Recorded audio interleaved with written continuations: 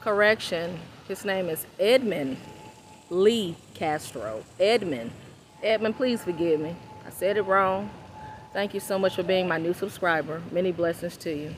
Take care.